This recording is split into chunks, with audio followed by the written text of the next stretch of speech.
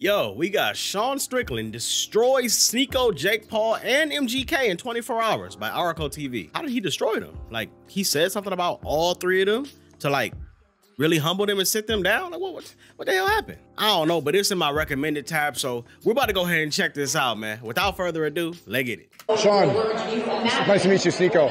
What's up, man? What's your name? Sneako, Okay. congrats on the win and everything. Sneako, who the f- you, Sneako? I'm just a guy, I'm You working train? at everything. What do you do? I do train, I do some. Damn. Influencer? Sorry, I, I don't like that term. What are you? I'm a guy, man, what are you? Why he get on there like that? Are you is he an influencer? I guess, I, guess- I guess so, yeah. Well, keep it going, man. I guess it's because he brought the camera. Can you give some some words of, of wisdom? I liked your podcast with the Nelk Boys. They, to see him get pressed like that for the first time was funny. Majority of influencers are Look at his goddamn ear, bro. decent, man. Stay off Instagram, stay off TikTok, you have a better life. Thanks, Sean. Yeah. Now, I'm sure like a it hurt. you know who these two are for different reasons. One of them's a UFC fighter called Sean Strickland, and Uh-huh. other one's a streamer called Sneako. And this is the first time they met before Sean Strickland gave Sneako a serious case of the beast. Oh, oh, oh, damn. Hold on. Wait. Wait. I, I didn't see that coming. Wait, hold on. Wait a minute. Was that him? Case of the beast. That was actually Sneako? It's hard to tell because he covered up. Damn. Why he beat him up? What happened? hold on. Wait a minute. I'm glad I clicked on this video. As you could probably tell from that first clip, Sean Strickland had no idea who Sneako was. Uh-huh. Once he found out who he was, he posted this on Instagram. He said, What advice would you give to Sneako? Got sent this with a little backstory on this man. Damn. Don't let dudes tee off on your girl. Ooh. Andrew Tate is a con artist. Mm. Act like a man. Damn. Now he said don't let dudes tee off on your girl because Sneako once admitted this on a podcast. Oh, yeah. As soon as I saw like three pumps in, I just got up and walked out. I was like, I can't, I can't do that. And for those who don't know, Sneako was also close to Andrew Tate, or he was trying to be like. How you even let that happen, Sean bro? Strickland is not a fan of Andrew Tate whatsoever. You know, take somebody like Andrew Tate. You seem to share a lot of similar values with him. We share a lot of values, but Andrew Tate, as young Oh my men, god, I don't mean to get off topic, bro, but the goddamn cauliflower ear. Look at it. Look at it. Oh my god, that little oh the pain. You know how many times you gotta get punched in your ear for it to all right, back on topic. Back on topic. values with him. We I just had to point that out. Values, but Andrew Tate, as young men, I can see why you guys look up to him because you are moralist men. You have no values. You have no positive Damn. role models. So you latch onto a piece of shit like Tate, who has money, who has women. You say, no, I want to be like Tate. All my problems in the world, they're because women are fing me. That's not it. Andrew Tate is a con artist. You ever watch an interview where he goes on in detail about how he pretended to be a cam girl and used to rob people's savings? The reason why Oh, that's messed up. a shitty Hyundais, one, I'm cheap, very cheap, but like the entire world makes you feel inadequate. Everything we do, from what you wear to what you drive, you are born living in the fucking a commercial. We are creating mm-hmm. a generation of boys who judge their character by what they drive and what they wear. I Uh-huh. participate in making people feel like you are not enough. If you work in Agreed. job, if you do rebar, if you do electrical, I think that the value of you is by how you act, by the kind of father you are. You single Yeah. out there that you know maybe you want a fucking BMW to get that Instagram.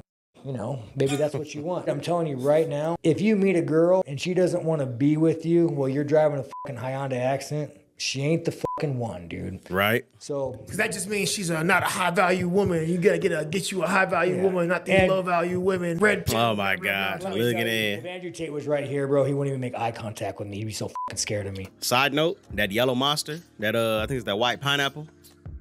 That motherfucker taste good. But hey, I, hey, I like the flavor on that thing. You know what I'm saying? That ain't got nothing to do with what they was just talking about. But I like the flavor on that. So Now, since I like the flavour on really that. Being said between Sean Strickland and Sneako until Sean Strickland recently went on the Theo Von podcast and he broke down in tears when he was talking about his past. Dude, I remember like laying in bed. Like I remember I stopped believing in God, man. Like, Ah, I can't do that. like I had, fucking, um, yeah, it's crazy shit, dude. Mm. Yeah, crazy shit, man. Mm.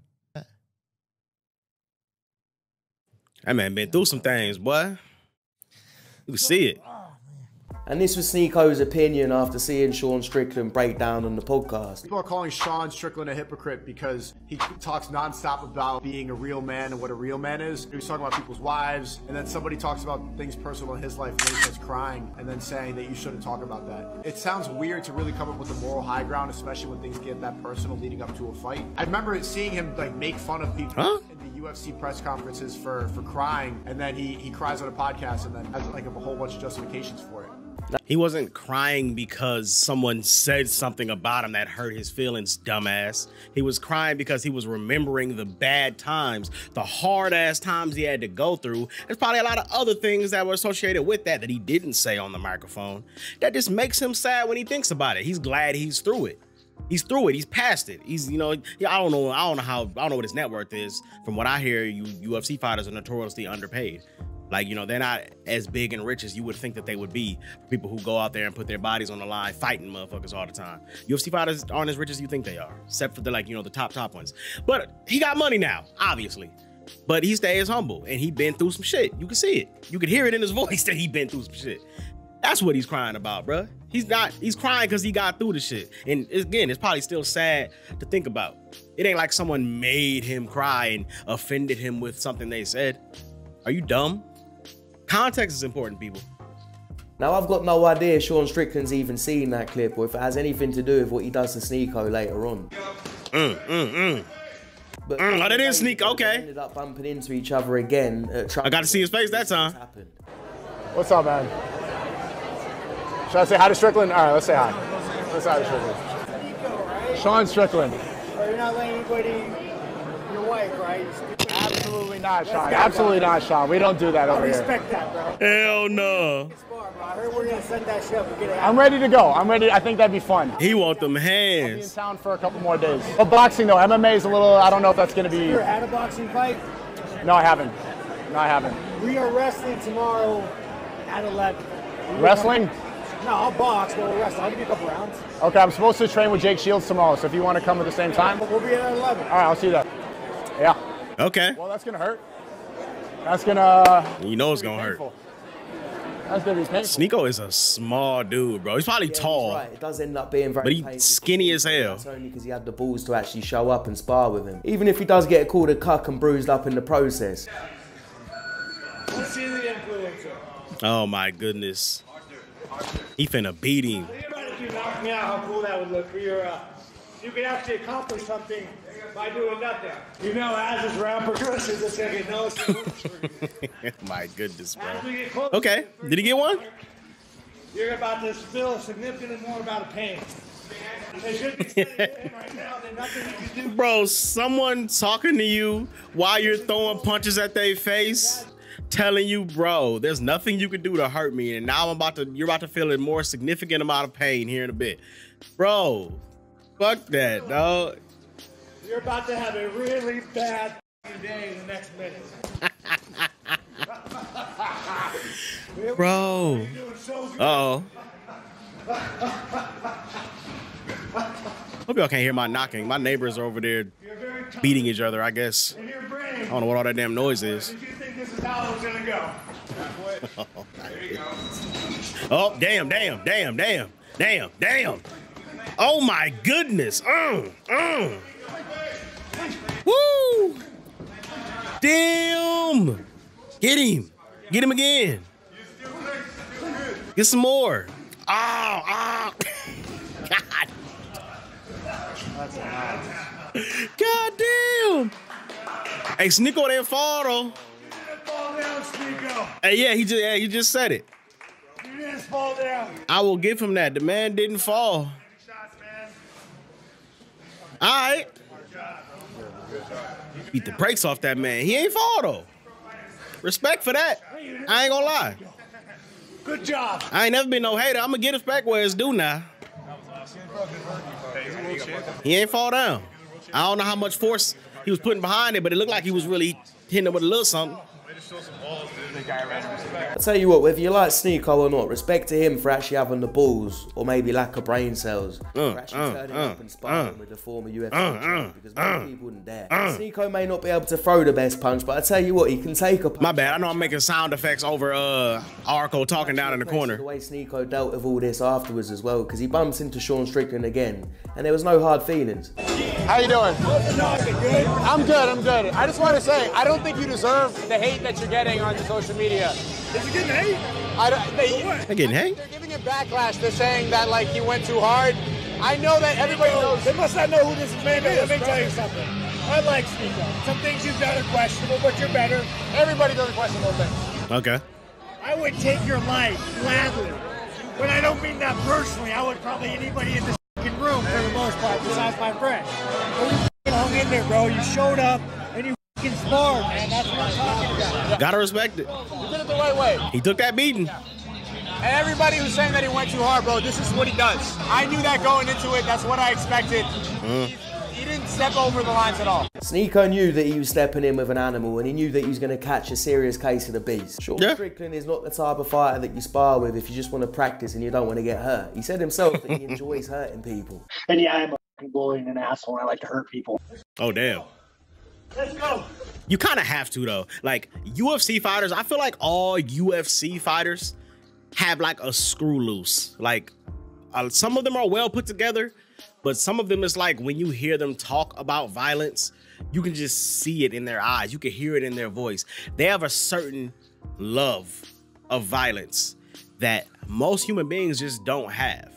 So like UFC fighters, they genuinely do enjoy hurting people. Now they don't want to just they're not crazy to where they just out here trying to hurt people for no reason. But if you give them reasonable grounds to cause pain, they revel in it, bro. UFC fighters, them dudes is crazy, bro. Like I said, they got a goddamn screw loose. And them the dudes that really would kill you with their bare hands if you gave them a reason to do so. Like, don't mess with them niggas, man. Don't mess with them. Fighters in general, people who just fight for a living, dudes be crazy, bro. Like y'all ever heard of some of those fighters that don't start fighting better good until they get hit? Like they gotta get hit first.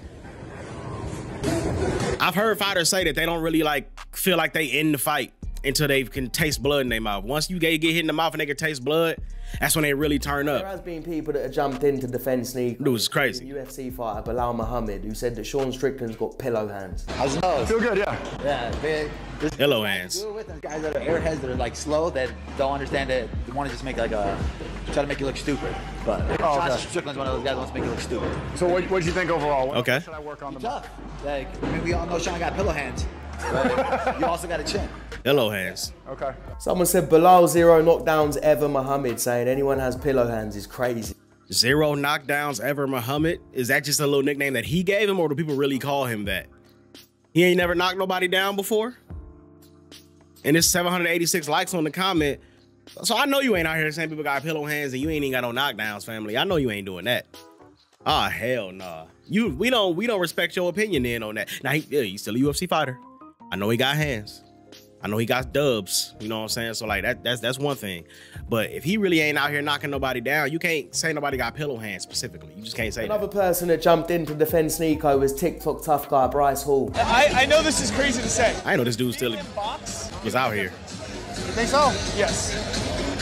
It would be very, very close. Sean Strickland, I'll spar you drunk as f- He's here. You can talk. He, where's he's here? Go he's been here the whole event. Go tell him that in person. I literally would. You would? Stop the cap. And I would said, nah, nah, nah. This is one of them situations where he's trying to get a viral moment. It's kind of like how when Flight reacts, sees a real hooper hoop, and starts talking about how the dude ain't really that good, and how Flight actually thinks he has a chance to beat the dude. Flight, you trying to set up a one v one for some views, for some money, nigga. We know what it is, but he gonna get them. He gonna get. He gonna get them views. It's Flight reacts. He gonna get that. He gonna get that one v one. He gonna get them views. He gonna get that bread. I'm. It's not hating or nothing like that. I'm just saying, Flight. We know what you're doing. When you try to call out a legit hooper and think, oh, I think I know I could beat him you don't actually think you could beat this Hooper, bruh. You try to get this 1v1 set up. You're not slick. Bryce Hall, you try to get this damn smart session set up so you can have your viral moment. That's what you want. You don't actually believe that you can box with this dude. Cut it out. Let's do it. Let's do it. Will he punch me in person? He definitely will. Right I'd rather have Dana like be the middleman and like set it up. Okay. So I don't get punched bare knuckle on my jaw. Trying to get a payday. I ain't mad at it, but nigga, you not you know you not gonna rock it. I'm not gonna lie. Not smoke. I, I would say this. A few minutes later. I could almost guarantee me and Sean Strickland spar boxing. I would crack him. He's right there standing. Jack, type of one if you should say it to his face, two if this should just be online. I just feel like he would beat the fuck out of me if it was like right now. Damn, all these people really want to see me get my ass beat in person. Yeah. I'd rather do it like when I'm sober. Now, Bryce Hall did actually recently win a bare knuckle fight. Oh, did he? Mm, mm, okay. We also can't forget that he lost to this donor. I remember that shit, bro. This fight was so embarrassing. This fight was so embarrassing. Delusional or both to think that he'd have any chance against the Sean Strickland. And I think Strickland just wants any excuse to punch these influencers in the face because he actually responded. He said, Tomorrow, sign me up. He also sent a direct message to Bryce Hall saying, You want to see a dead body? God, this is the only thing I ever wanted. Please, please, please. I never asked you for nothing. Bro. What have I got myself into? They love violence, bro. Shitting myself. I can't back out now. Jake Paul's another one who You give him a reason? He started tweeting at Sean Strickland. He basically said that Sean Strickland's a horrible boxer. He should fight him, and he's a bitch for picking on Sneako. Oh my God. Here Jake Paul go again trying to fight an MMA fighter in a boxing match. Oh my goodness. Jake Paul, he actually has a legitimate chance to get in the match though, because it's Jake Paul. I guess we'll see where that goes in the future. Sean Strickland responded by saying he's a waste of space. He doesn't like him, but he'd love to be stuck on a desert with him so he could do what he wants to him. This nigga's crazy. There's only one influencer that stand a chance against Sean Strickland, and that's Mr. 260 himself, Bradley Martin. But Bradley Okay. Martin was too busy street wrestling with other UFC fighters. He ain't get scooped? Okay, he ain't get scooped. He ain't get scooped.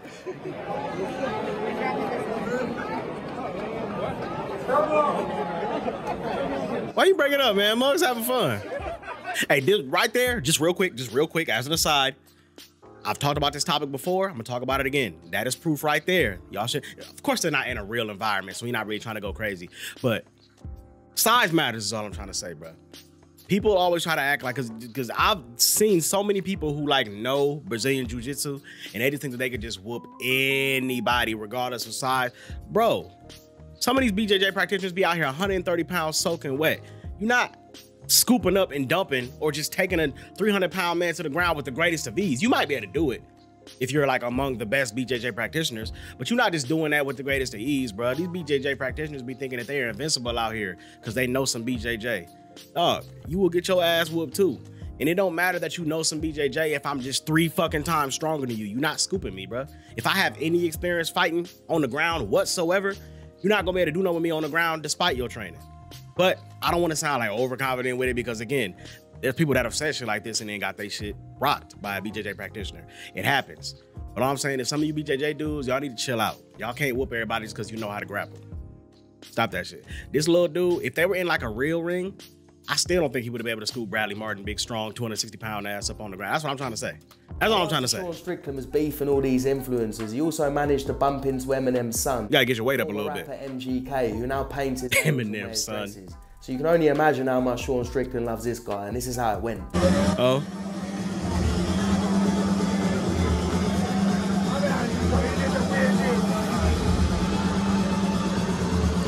Was it bad? He said you dress like a vampire.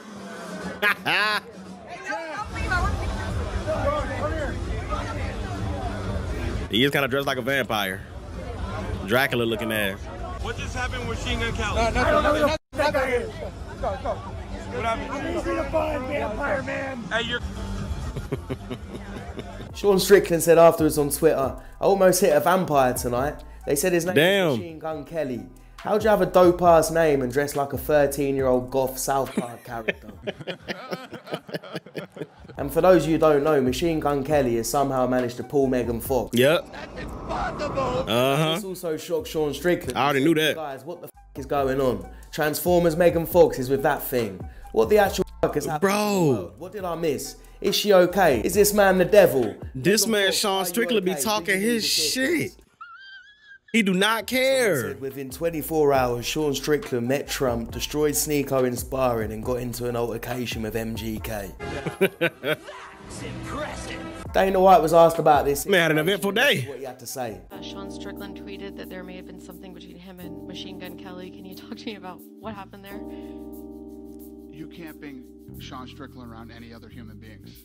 Like You especially cannot bring Sean Strickland around TikTok donuts to have a death wish, like this idiot. Can I get a chupapi muñeña? I don't know who the fuck you are, but in a different setting, I might hit you. like if we weren't here, I might have stole your little stupid ass. Got some issues, but so have a lot of these feminine little TikTokers. Chupapi muñeña? You know, he may be a loose cannon and lacks some emotional control, but for me in today's world, it's good to see a man that's proud to be a man and not afraid to say what he thinks. That and is a fact. The masses. And if you're some sort of TikToker or influencer that's that desperate for attention and you're trying to use Sean Strickland to get that attention, then you're a complete donut and you need Michael. Get some help. And you might just get punched in the mouth. Man, this dude, Sean Strickland, had an eventful day, bruh. But again, I, I can't wait to see where that where this whole thing goes with the Jake Paul thing, because that again, it's Jake Paul. So that could legitimately happen. They could legitimately get a match with him and uh Sean Strickland set up. And they have a I don't know if Sean Strickland will be winning the box though. But uh, he gonna have to if they agree to that match. If you give him a big enough payday, maybe he'll take it. I don't know. We'll see. But Sneako got his ad beat. Jake Paul got to talk his mess to him. He called him GK a vampire. that man Sean Strickland. Like like Dana White said, you can't bring this man around no other human being. This man, he just don't give a damn. this man, this man Sean Strickland is funny, bro. But yo, that's gonna do it for this Arako TV video, bro. Videos are always entertaining. Uh, I said what I had to say about all the subjects in the video. So we about to go ahead and get up out of this thing. Make sure y'all show a lot of love the video, like, share, and subscribe. For any of y'all who like gamers, check out my Bloodborne walkthrough. Gotta go ahead and plug this in every video that I do until y'all check it out. Until next time, I'm up out of this thing. This is your boy Dairu. We signing out. Ei.